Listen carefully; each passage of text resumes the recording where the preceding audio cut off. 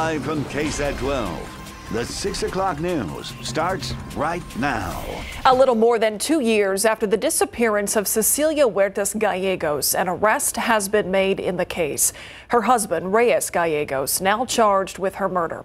Our Jeffany Gray is at police headquarters this evening where officers gave details in this case. She joins us live now with what she was able to find out. So, Jeffany, did the suspect say anything as he was being walked out there by police?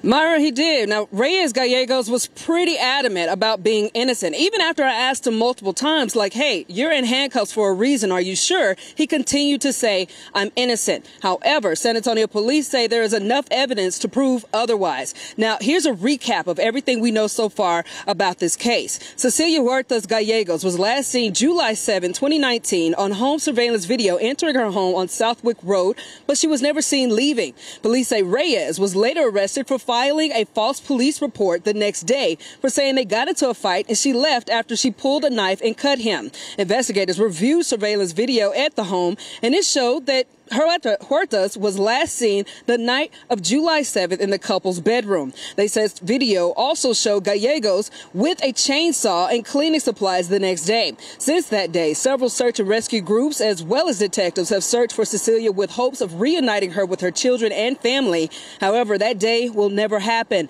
When asked if a body had been found, police said in part it was one of those portions of details we are not able to give much conclusiveness to. But they did say they had enough evidence to arrest Gallegos for murder.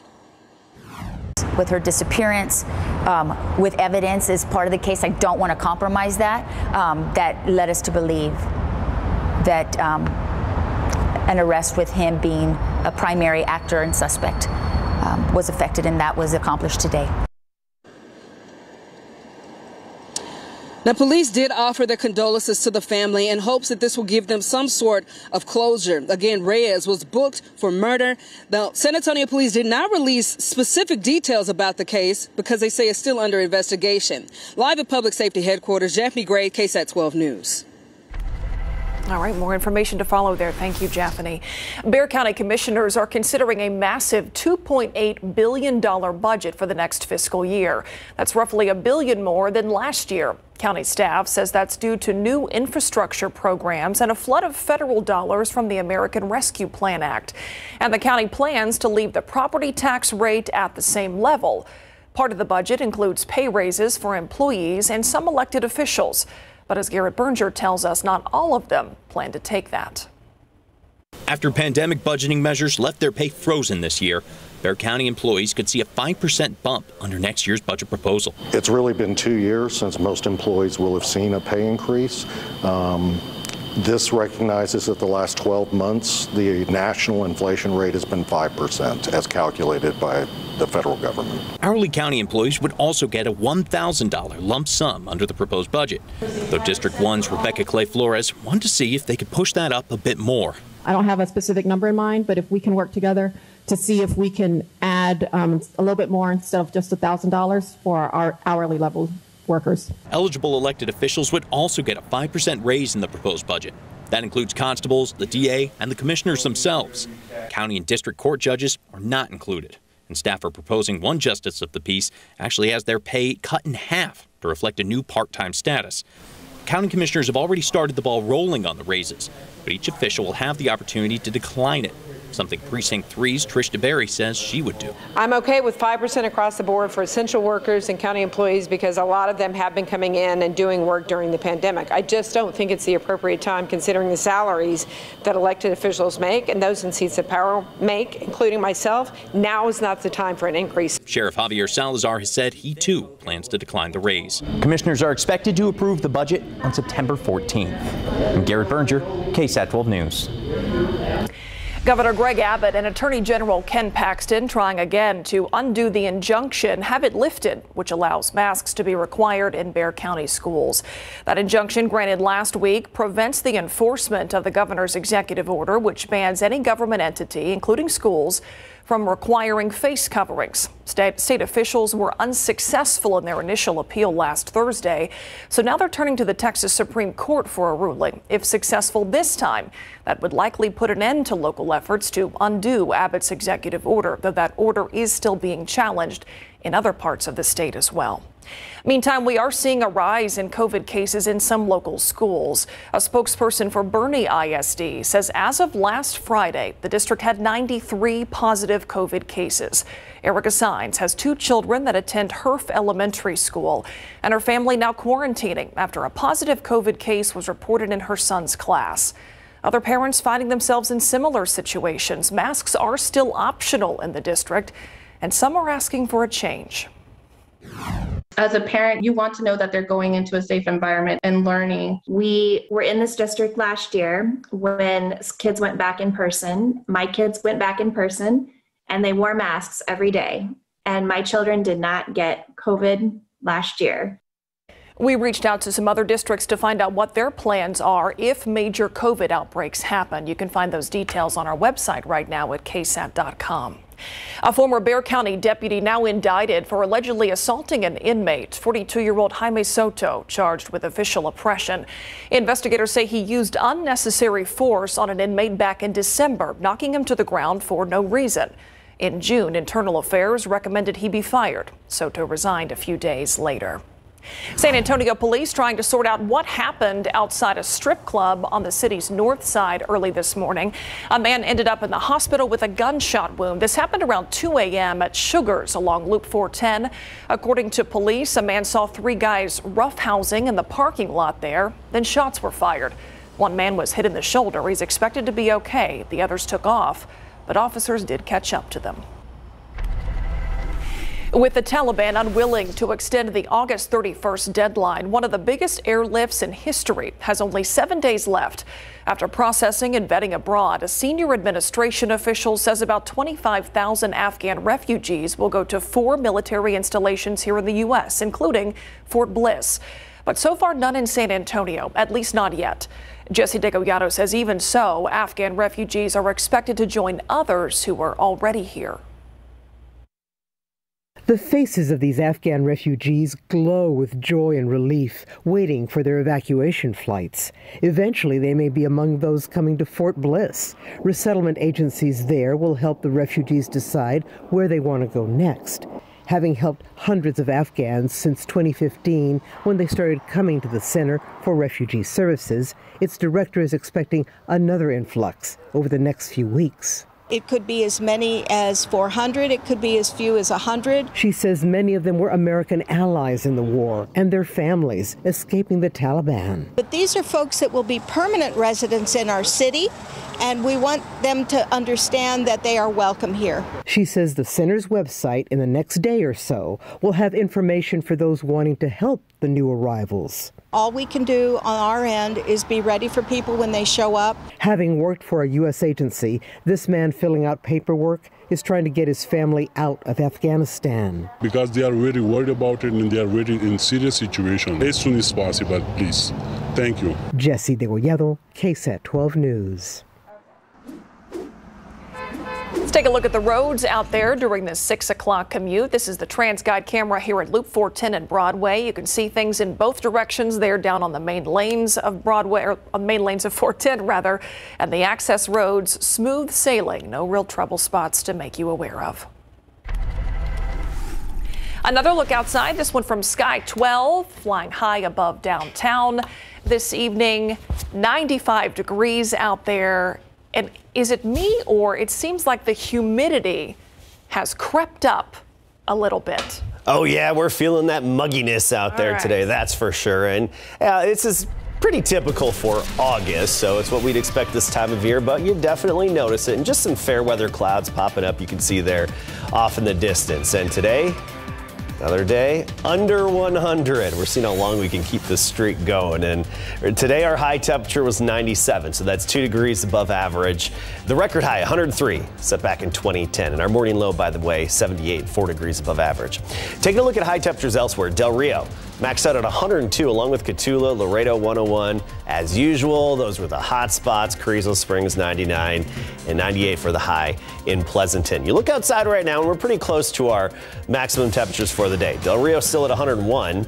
94 now in San Antonio, 90 in Rock Springs and Kerrville, you're at 93 degrees. So you look at the readings and it's what you'd expect this time of day for mid to late August. Even 97 in Stinson and Bulverde, 91 degrees. We have a few isolated showers out there far east of San Antonio. We're talking east of Hallettsville in Lavaca County, and a few over the past couple of hours that have moved from Karnes County into Wilson County. These are already showing signs of falling apart. So unfortunately, we're not going to tally up much from these. We'll have a similar pattern as we get into tomorrow. But by Thursday, I think we'll see a few more of those pop up showers. Better odds, just don't get your hopes too high. Mostly clear this evening and tonight. Southeasterly wind at 5 to 10, temperatures in the 80s. Tomorrow, 77 to start the day and then 97 by the afternoon. It's more of the same tomorrow on a CPS peak energy demand day. Try to lower your usage from 2 to 7 p.m. Tropics update straight ahead.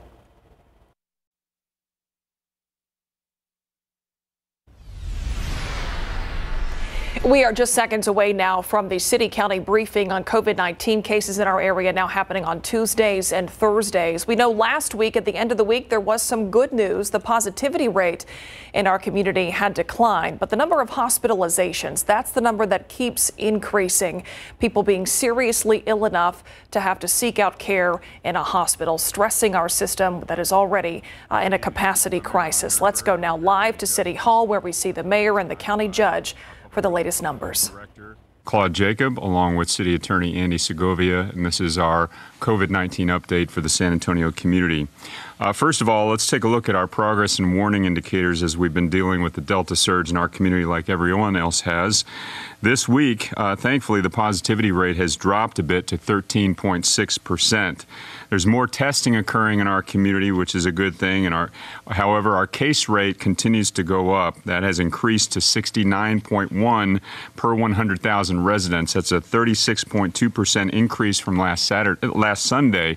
Uh, and as noted, with more testing, we are finding those infections faster. So uh, we keep all those things in balance. These factors, combined with the higher stress score in our hospital system and the other indicators we're keeping a watch on in the region, uh, means that we're continuing to be in the severe risk category. As far as cases go, today, today we're reporting 1,254 new cases of COVID 19.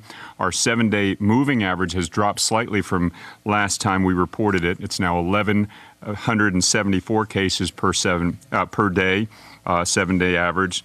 We are unfortunately reporting five new deaths this evening.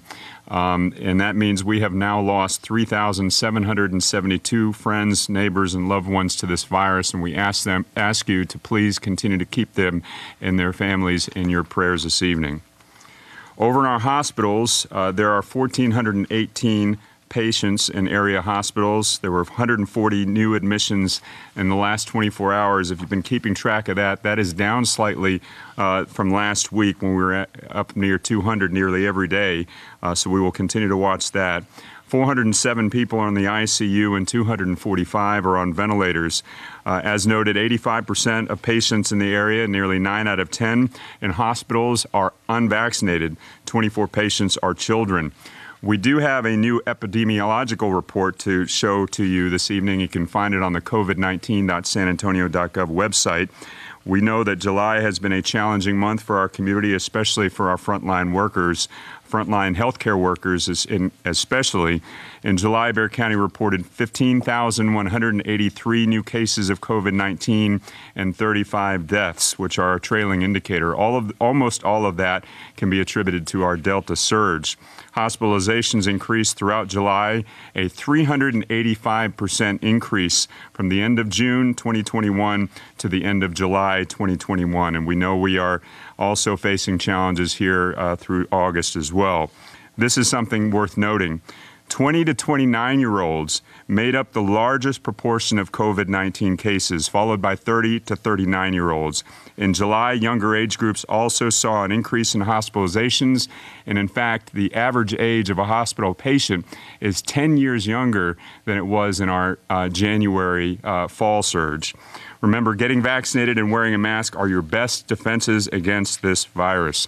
Let me turn it over now to Judge Wolff. Oh, thank you, Mayor. I, I, think it's important for everybody to realize we're still in a very difficult time. Uh, when you look at the fact that our weekly mo uh, moving average of cases per 10,000 went from 36 to 69, yes, the positivity rate went down some. That's because we're testing more and they're beginning to test in school. So that percentage will go down, but the uh, the cases per 10,000 had, had a dramatic increase, almost not well, not quite doubling, but close to doubling.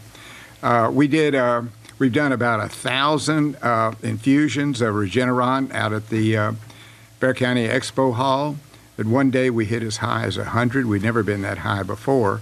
So people are taking advantage of going out, getting the Regeneron, and hopefully not getting any sicker because they took it and, and not being able and not end up in the hospital. And I think we're starting to see some impact of that. Our hospital numbers kind of go up one day, down one day, but they're still at a very, very dangerous uh, level over uh, 1,416, something like that. Uh, now, to give you a sense of why people that are uh, not vaccinated are much more dangerous, CDC study showed you're 29 times, 29 times likely to be in the hospital if you are unvaccinated. 29 times. And then if you pass it on, you're five times more likely to get infected if you're not if you're unvaccinated. So vaccinations are the key to the game. Uh, I think we got a really good positive step when the FDA gave final approval to Pfizer. Uh, that was one concern that people had, that they didn't want to get it till that happened. That has happened. We hope that you will go ahead and get it. Uh, the uh, Attorney General has uh, appealed our fourth court ruling. I'm not sure uh, when they will make a decision, but it is uh, apparently now in the in the Supreme Court. We are beginning to have a problem at the jail, and it's caused by the state again. we have 86 people in the jail today that are positive, but what is dramatically causing our problem is overcrowding. We had a low of like 3,000 people in the jail at one time during the uh, pandemic. Uh, today we have 4,376. Why do we have so many? Well, 700 and some of them have been there long enough to be able to go in the prison system. Prison system hadn't been taken very, very few, so they're still stuck in our jail some of the rulings that the uh, uh, governor did to make it harder to give a, a PR bond to uh, misdemeanors has driven our jail population up. So they may have a problem in the prison with COVID, but what are they doing? They're shoving it right down to our level, putting our community in jeopardy. We've written a letter to the governor to state our problem. I'm sure we won't hear anything positive about it, but we are at least bringing it to their attention. I think that's it for me. Thank you, Judge. All right, the county judge there talking about the issue of overcrowding uh, in the Bexar County Jail. And let's start in terms of the COVID numbers with uh, the good news today. The positivity rate is down to 13.6 percent. For some perspective, it was over 16% last week. The hospitalization numbers, those are the numbers we continue to look at. 90% of people hospitalized, 9 out of 10 people are unvaccinated. The mayor also said that 24 children are hospitalized right now with COVID 19. We also got an indication as to the age of some of the people being most affected in our community. In the month of July, the 20 to 29 age group made up the largest proportion of cases uh, in Bexar County, in San Antonio, and the mayor pointed out that is 10 years younger than the average age during that fall and winter surge. So something certainly to take note of there. Let's turn to the weather now. 94 degrees at this point. Adam Caskey, we know the heat is on. This is the time of year when we start to ask, okay, when are things going to change a little bit? When are they going to change? Does that mean when are we going to hit 100? Or I, that's not the change I'm hoping for. No, right. it's actually it's the other direction. okay, good. Well, we will we, we'll be trimming off a few degrees in the days ahead. It's not going to be a drastic change, but it'll be in the right direction for some folks who want to See some uh, slightly lower temperatures even. Let's take a look at our radar right now. We have a few little showers that have popped up generally southeast of San Antonio, especially in Wilson County right now. That's where we have them lingering, but it's unlikely they're going to last much longer. They're already falling apart. And those of you east of Hallettsville, Seen some of those taller, darker clouds there raining themselves out at the moment as well. So let's get an update on the tropics. This is the cluster of unorganized rain and thunderstorms that we're watching in the eastern Caribbean. This is going to be slowly be drifting westward, and it does have the potential to actually emerge into the Gulf of Mexico as we get into Sunday. Now, this does have the likelihood of turning into next tropical depression, maybe even a tropical storm, slight chance of it becoming even a hurricane in that time frame. But once it potentially gets into the Gulf of Mexico, let's say on Sunday, at that point, if it happens, anything is possible. It's still too early to even speculate what could happen because nothing is even formed yet. And I know I wish we could have answers right now as well, but unfortunately, the science of meteorology just isn't there yet. If you don't have something to measure, like an organized storm that's spinning, it's hard to get any answers. So we may not even have answers till this upcoming weekend. So nothing to worry about right now. 77 tomorrow, 97 by the afternoon. Daily pop up isolated showers starting Thursday every afternoon into the weekend.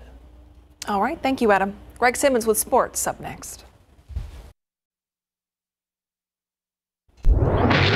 There is no question that our San Antonio Spurs are in a rebuilding year. Ghana's leading scorer DeMar DeRozan in a sign and trade deal with the Chicago Bulls. Ghana's veteran Patty Mills was the last member of the 2014 championship team after signing with the Brooklyn Nets, and Rudy Gay is now in Utah. That means with no superstar on the court, the success of the silver and black will be left up to the young guns, such as 24-year-old starting point guard DeJounte Murray and defensive skills of Derrick White if he can stay healthy. But with DeMar out of the picture, Lonnie Walker IV is looking to step up his game on both offense and defense, hoping to use his newfound minutes to share more the scoring load this season. But despite that, Vegas is not impressed. They have the Spurs winning only 29 games this season, missing the playoffs for the third straight season. Walker had a warning to those who are selling the Spurs short this season with this tweet he just put out. I heard all the disrespect. We acting different this season.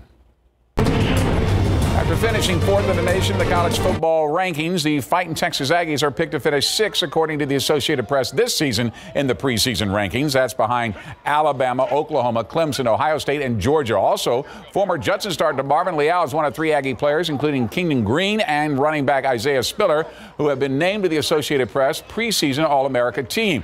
Jalen Jones is about to start his second season in Aggie land. His safety moved to cornerback and was asked what is different about this season for him after what he had to go through last season as a freshman. The whole college process and things like that. You know, I came early back uh, last January, not this last January, the January coming into 2020 came early. You know, just getting a feel for college things like that, and then COVID hit. So it was kind of just at home chilling things like that. But coming back, you know, going to fall camp, starting the season up, you know, just getting the whole college atmosphere, you know, feeling, you know, just from high school, it's it's totally different. And the Aggies kick off their season Saturday, September the 4th against Kent State at Kyle Field at 7 p.m. Here we go. The big game and a big game coverage this week is number one Brennan against number two Reagan at Farris Stadium on Friday night. But the 2021 high school football season actually kicks off this Thursday with a big game that night Brandeis against O'Connor at Farris Stadium as well. And when the Broncos kick off their season, they'll do so with a new coach. Charles Bruce has made the move from Wagner to the Northside School District, welcomes back 16 starters, eight each on offense and defense, off a team that did not make the playoffs last year and are being moved to District 28 6A that contains mostly Northeast School District teams. They're hoping all around athlete here, Aiden Inesta Rodriguez can help on both sides of the ball, especially after the four-year starter was able to come up with 36 tackles and two interceptions to go along with his play at wide receiver and special teams as a kick returner. For the O'Connor Panthers, head coach David Molesky is blessed with 10 starters returning, five each on offense and defense, of a team that also failed to make the playoffs last season in District 29 6A. The Panthers will also rely on their defense this year, led by defensive lineman Isaac Dodsey, who had 38 tackles and four sacks last season. Oh, this week is, is big. You know, we've known these kids growing up for years, and there's a lot of trash talk going back and forth. But at the end of the day, it's, it's fun being able to play this game. That's really special, you know. We, we didn't get to play last year because of COVID, so it's another break as it was like four years ago now. And it's a big rivalry. A lot of people show a lot of people want to see us play, and we're just as excited. All right, kickoff between Brandeis and O'Connor set for 7 p.m. this Thursday at Farris Stadium, and we will be there for all the highlights for you. Mm-hmm. It's a big week. It is. Thanks, Greg. Our KSAT Q&A is coming up next.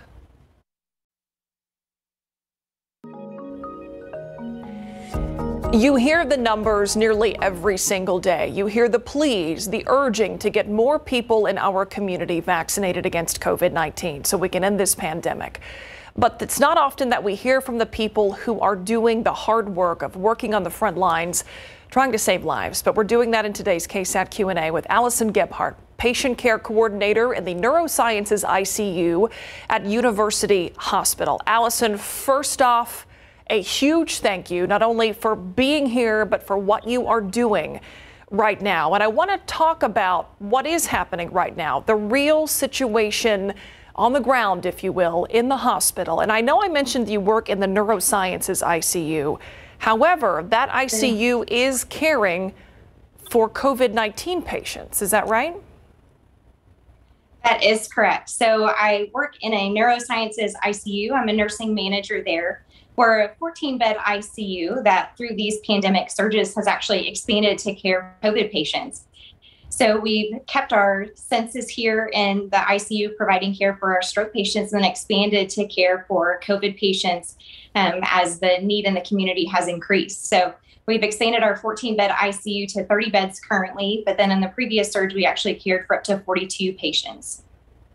Talk about what it's like right now for you and your colleagues in the hospital dealing with this latest surge. Can you walk us through a day?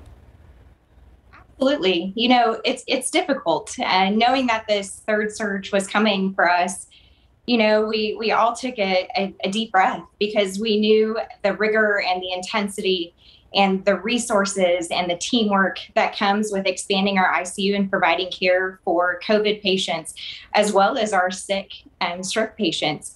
So, you know, we just relied on our, our teamwork and each other um, to provide and expand um, as the community needed at this time.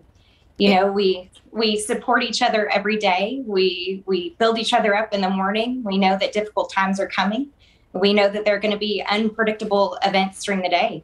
You know, as we fought this third surge, and um, what we've noticed as a difference between our patients previously and our patients now is we could really kind of predict when patients would be um, becoming a little bit more sick throughout the next 12 hours or 24 hours.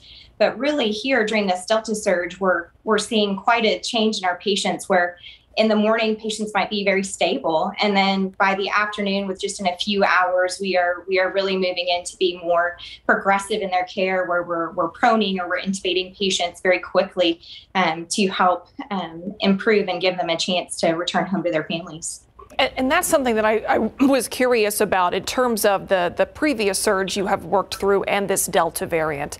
Does it seem like, I mean, you're, you're talking about how it seems like things progress faster uh, with cases right now. Are symptoms more severe? Have you noticed a difference in how patients are faring? You know, I think we've seen quite a difference, especially in our acute care unit, which is also expanded to provide care for COVID patients, um, where we're seeing patients who are, are are sick here coming to the hospital, and actually, I believe they're they're a little bit more sick coming to the hospital that we're seeing in this Delta surge than previously. We're having patients on high flow um, nasal cannulas in our acute care unit that are sustaining there, um, and quite a few more of those in our in our acute care unit before they come to the ICU. So we, we are seeing patients that are a little bit more sick than we've seen in our previous um, surges, but then also know that there are patients at home that are also struggling as well. So um, just trying to, to do what we can do for the community. What are families or patients, if they're able to, what are they telling you about being hospitalized, about dealing with all of this? Any stories that stand out in your mind? Yeah, you know, it's it's a struggle. It's a struggle because all of our patients are somebody's person. You know, these are these are people's wives and husbands and significant others and moms and dads. And I think, especially with this surge, seeing a younger patient population where we're in their 30s and their 40s rather than in their 50s and 60s and a little bit closer to the age of us providing care for them. You know, it's, it's definitely alarming to see patients um, like this. You know, we're seeing different stories too, where family members who are un, who are vaccinated are are seeing their unvaccinated family members in our hospital, and we're we're helping with that conversation there over FaceTime um, due to the limited visitation in the hospital, and it's been it's been a difficult balance. You know, where nursing is stepping in and we're part of these very private conversations um, because we're that link between family that can't be here in person um, and their family member. And so trying to fill that gap. And I think that's one of the things that's been really difficult. Um, you know, and so we hear and we we don't always see our patients their best, you know, when they're in the hospital and they're not feeling well, we don't get to see these vibrant people that we know that they are.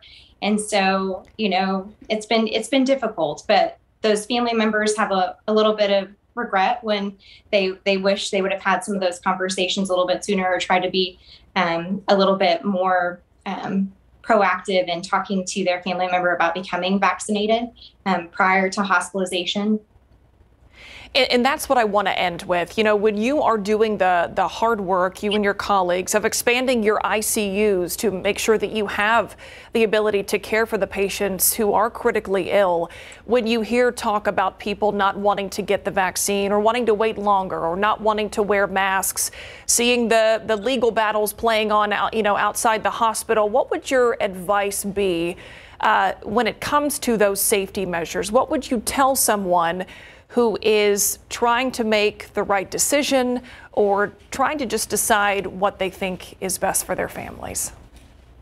Absolutely. So, you know, I, we strongly encourage those who are able to become vaccinated to be vaccinated um, for their own personal health and for the community. If if that doesn't fit your picture and it doesn't, um, it's not your choice, um, we strongly encourage you to wear a mask um, and to social distance and to just help keep the community safe.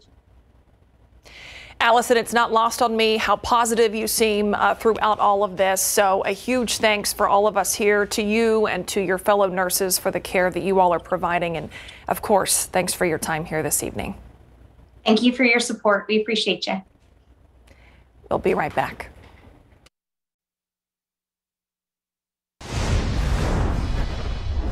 NYC uh, and their public schools have have mandated uh, that employees be vaccinated. That's not where we are as a school system as of yet. I'm sure that question was was coming, so I want to go ahead and hit it head on and address it. No vaccine mandate for the largest school district in the state, which returned to class this week. At least not yet, you heard there. But there is a mask mandate for Houston ISD. The superintendent, Millard House, saying he is committed to keeping kids safe this school year with a mask requirement which goes against Governor Greg Abbott's orders and the wishes of some parents. He says COVID 19 data is a reminder that we are in a public health crisis and that some Houston ISD students with medical conditions will be allowed to attend classes virtually. Another look outside with live cam this evening. No real clouds in this view. That shouldn't surprise anyone based on the temperatures. No real help with this heat, Adam. Uh, no, and you know, we're right near average for this time of year. We have yet to hit 100 degrees so far this year. It's still possible, but it doesn't look like we will in the foreseeable future. 94 at the moment will be 86 by 10 o'clock midnight in the lower 80s. And really, the rain chances that we had out there east of town, those showers are coming to an end. More rain chances coming down the pike, along with an update on the tropics and what we're watching watching straight ahead.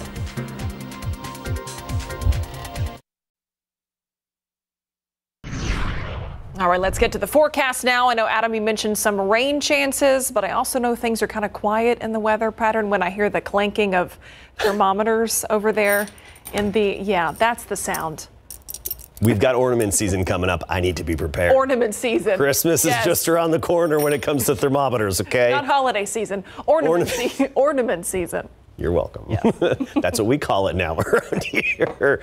You got to get prepared, got to get ready for it. And Now's the time. So we'll be trimming off a few degrees from our temperatures in the days ahead. A few pop-up showers returning every afternoon. That starts Thursday. And we're watching the tropics for a little activity that could uh, be developing and heading toward the Gulf of Mexico. Let's start with the heat. Today across the state, mostly well into the 90s. You head farther to the north, parts of Oklahoma, Kansas, well, they were above 100. Wichita made it to 101, but Alpine 92, 94 in Lubbock. Junction 97 along with Dallas. And Del Rio and Laredo, Cotulla all just made it above 100 degrees in the typically hotter locations. But you look at the highs today and most of us just well into the 90s, which is fairly typical for this time of year. Currently still 102 in Cotulla. Feeling the heat, that's for sure. 93 New Braunfels, 92 in Kerrville. Gonzales at 94 degrees. And you look at the days ahead and our temperatures, they'll be dropping a little bit. You're not going to really feel or notice much of a change. It's just that psychological change. We'll be going from 97 down to 94 by Friday. Gradually dropping, I should say, by Saturday, we'll be down to 94 degrees. So generally in the mid 90s by the end of the work week and into the weekend. You look at the radar now, we had some of those pop up downpours, highly isolated, one of them even just east of Pleasanton now. And this activity is all dissipated, but we do have some outflow boundaries there. They're headed into Bexar County now and parts of Guadalupe County and right along the Cibolo. That's where we're seeing that outflow boundary. So some of you will be getting a quick little burst of wind from that, a nice little cooling breeze from it. Big picture, we still have the big blue H, the upper level high planted over North Texas, so most of the activity is on the edges of it, especially in the Northland. That's good. They need the rainfall up there. They've got the serious drought going on up north, so they've been getting some rain with the high farther to the south. This, however, breaks down in the days ahead that's going to help open the door for just some of those random, brief splash and dash showers in the afternoon hours. Thursday through the weekend and even into next week. Now, yes, early next week there is a wild card, and that's the potential for a tropical system to emerge into the Gulf of Mexico. Still way too soon to even speculate about this. Right now, we just have a cluster of rain and a few thunderstorms in the Caribbean. It hasn't even formed yet into any kind of organized system. So there's nothing to measure, which makes it nearly impossible to forecast. But we are expecting some organization over the next five days as this slowly drifts westward. This whole area from the Caribbean down into the Gulf of Mexico is where we could see some development. So let's fast forward, say, to Sunday. If this even emerges into the Gulf of Mexico as a system, it's still way too early to tell. Anything could happen. Literally anything could happen, including nothing. Yes, that's an option as well. And we may not even get an answer to this system until this upcoming weekend, okay? I know the meteorology, the science of it can't keep up with modern expectations. That's just the nature of meteorology, but we can't accurately predict a system that hasn't even formed yet. We can't measure it. It's just speculation right now. It's even too early to speculate, if you ask me. Anyway, 77 tomorrow morning, 97 by the afternoon. A lot of sunshine tomorrow. And then we're looking at temperatures still near 100 south and west of San Antonio. Uh, downtown about 97 along with La Vernia. Timberwood Park 95 tomorrow and Castroville 98. There are those isolated rain chances every afternoon from Thursday through the weekend probably even lingering into next week. And of course, we're watching the tropics. Myra, I could go on for about a 45 minute uh, diatribe here about modern expectations and how meteorology just can't. With the advent of the smartphone, it changed everything. Ah, didn't it, though, in so many ways? No, it did. I've been in this business since I was 20 years old, and I noticed when smartphones came along, everybody expected answers immediately and the precise answers. Meteorology just isn't there yet. Yeah, actually answers yesterday if you have those. We need a podcast. Thanks, Adam. In case you missed it, coming up next.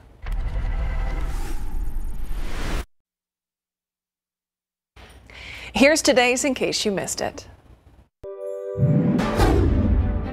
With the Pfizer vaccine now fully backed by the FDA, the race is on to vaccinate the nearly 82 million Americans who are eligible for the shot, but up until now haven't rolled up their sleeves. In local news, we have learned the name of a woman who died after crashing into a loading dock yesterday.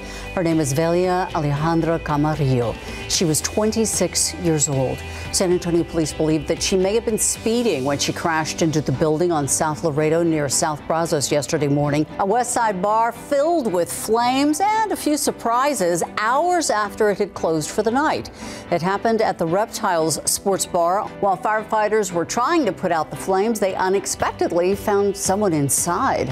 Facing pressure to extend the presence of U.S. troops in Afghanistan, the Biden administration is sticking with the August 31st withdrawal deadline. The plan is to end this mission on the 31st of August. I don't want to uh, suggest that that's not what we're planning on. The The Pentagon points to an acceleration in evacuations from the Kabul airport, with 21,600 people evacuated in the past 24 hours. A fresh collaborative approach. That's what Kathy Hochul, New York's new female governor, says she's going to bring to the table.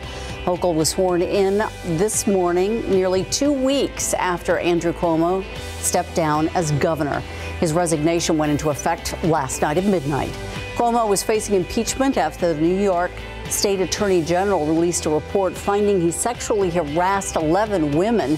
Cuomo, who served as governor of New York for 10 years, has denied all allegations.